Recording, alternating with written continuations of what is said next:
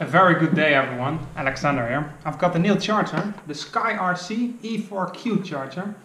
And it's really an amazing charger, in my opinion. You can charge up to 4 LiPos with it. All channels have 50 ampere output and uh, yeah, let's see what the charger can do. For now, let's have a closer look to this charger, the Sky RC E4Q charger. As you can see, it has uh, these balance uh, lead charging port.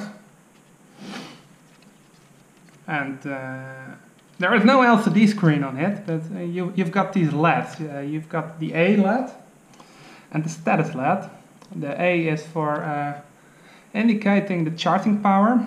The charger charges at 2 ampere, 3 ampere and 5 ampere and the status uh, gives an indication uh, about the charging progress. So let's power it up and uh, yeah, let's see.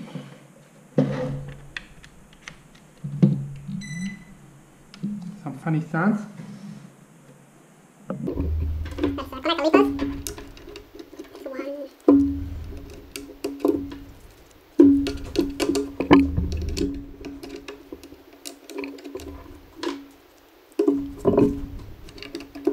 Alright, So as you can see, when I put on the buttons, there are three colors.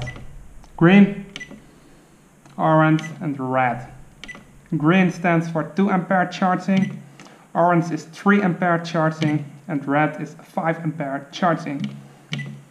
This is just one click on the button. If I want to charge it, um, I hold the button for 3 seconds and it starts to charge. The, the right LED starts to blink.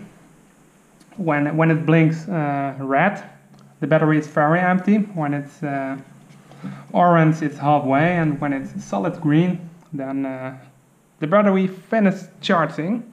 So I'm going to do this for all LiPos. Let's do this one on 3 ampere. Yes, hello.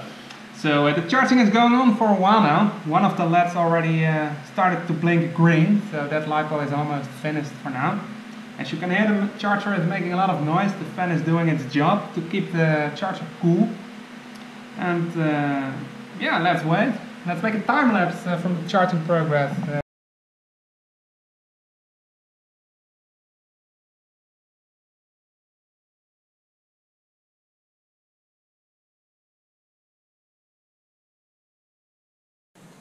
So as you can see, the two LiPos which were charging at 3 ampere uh, because of the orange LED are finished since uh, the right LED is solid green.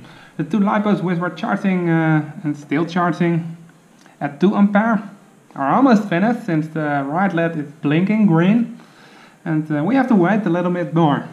This is the LiPo I just charged. Let's see what happens when I connect to the charger again. Then you can hear the beep. 3 seconds.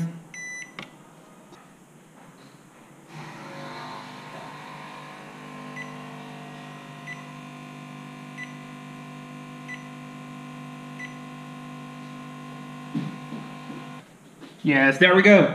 There we go. So, um, what else can we tell about this charger? You can charge 2S, 3S and 4S LiPos with it. You can see it there.